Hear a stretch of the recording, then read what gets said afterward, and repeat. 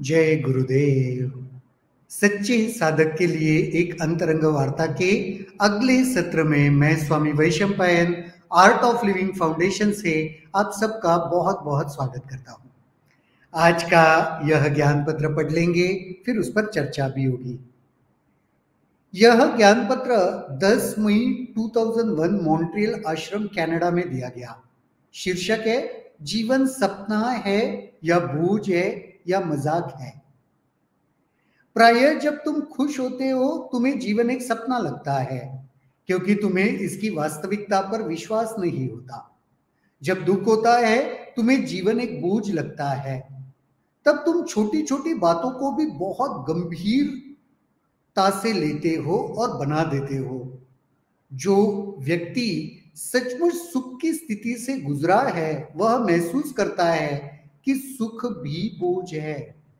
यदि तुम दुख को पूरी तरह समझोगे, तब तुम महसूस करोगे कि जीवन एक सपना है। तुम्हारे हर दुख की परिस्थिति को उंगली पकड़कर या गोद में लेकर पार कराया गया है और तब तुम्हें अनुभव हुआ कि जीवन तो एक सपना ही है। केवल जब तुम जीवन को एक स्वप्ना, स्वप्न या बोझ या चुटकुला समझते हो तभी तुम केंद्रित हो सकते हो।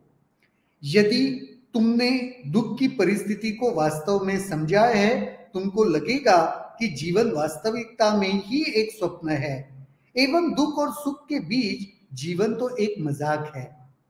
जीवन बड़ा अनिश्चित है, इससे पहले कि वह तुम्हें छोड़ दे।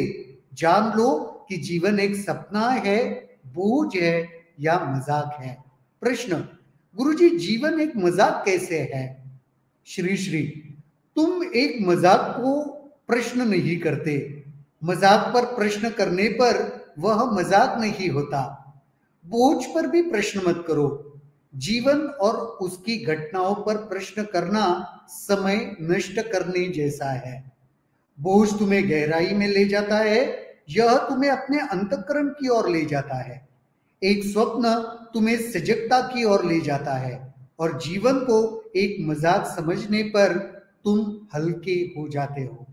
सत्य केवल यह है कि जीवन सपना है, बोझ या मज़ाक है। जब तुम यह महसूस करते हो, तब तुम केंद्रित हो सकते हो।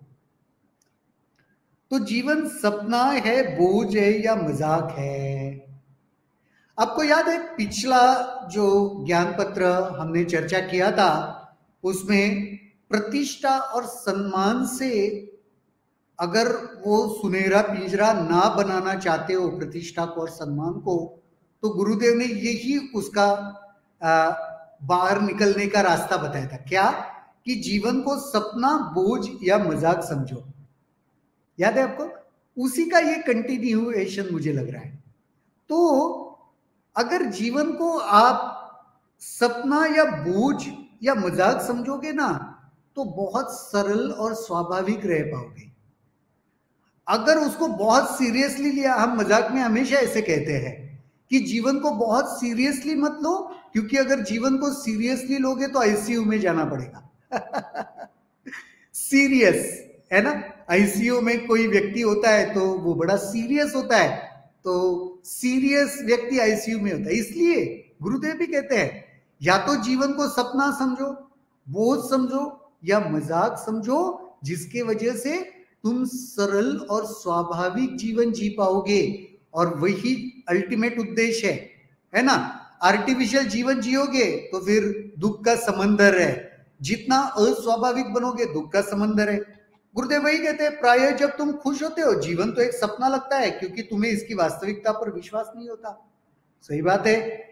जब बहुत खुश हो ना तो ऐसे लगता है ना कभी कभी हम खुद को पिंच कर कर भी देखते हैं, अरे, ये सच है? ये वास्तविकता है? या सपना है?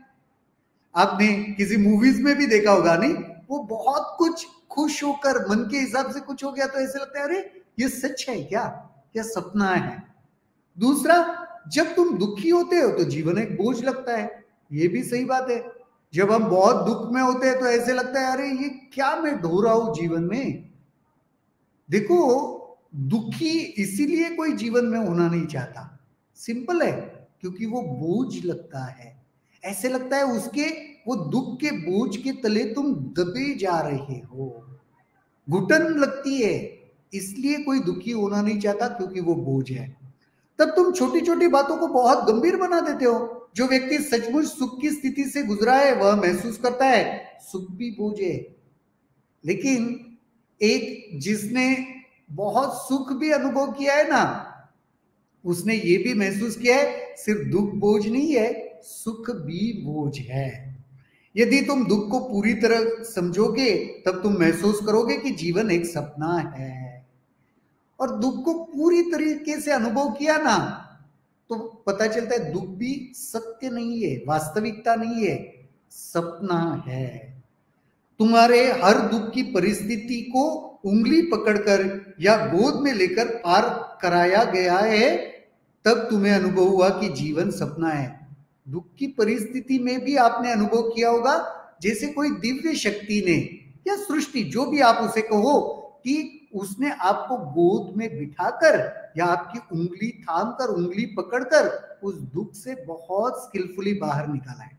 तब लगता है, अरे, जीवन तो सपना ही है। केवल तुम जब जीवन को स्वप्न, बोझ या चुटकुला समझते हो, तभी तुम केंद्रित हो सकते हो। केंद्रित जीवन में होना है तो जीवन को स्वप्न समझना पड़ेगा, बोझ समझना पड़ेगा या चुटकुला समझना पड़ेगा, या अनुभव करना पड़ेगा। समझना नहीं पड़ेगा। मैं कल्पना करने की बात नहीं कर रहा हूँ। या गुरुदेव भी कल्पना करने की बात नहीं कर रहे। गुरुदेव कह रहे कि तुम्हें अगर केंद्रित होना है तो तुमको यह अनुभूति में उतारना पड़ेगा।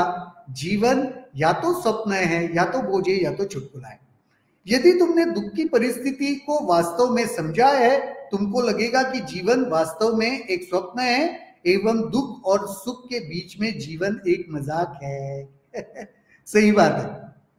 जब सुख भी नहीं है, या सुख होता है, या दुख होता है, उसके बीच का जीवन तो मज़ाक जैसे ही लगता है। अरे, क्या चल रहा है जीवन में? ऐसे लगता है।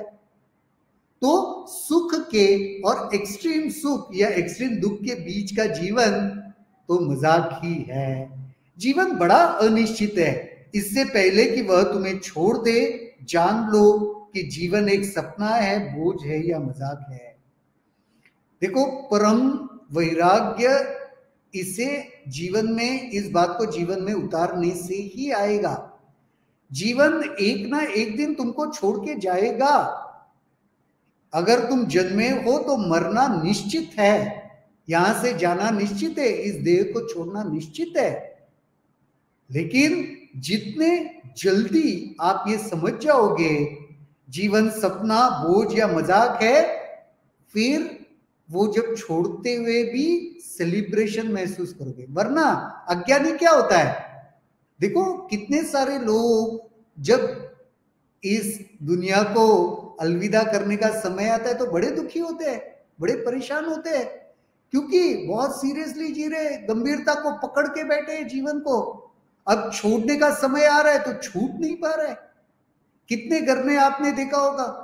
उम्र बढ़ रही है, लेकिन वह, वो वो एक, कहते ना वैराग्य जागृत नहीं हो रहा है। अभी तक छूट नहीं पा रहा है हाथ से कुछ भी।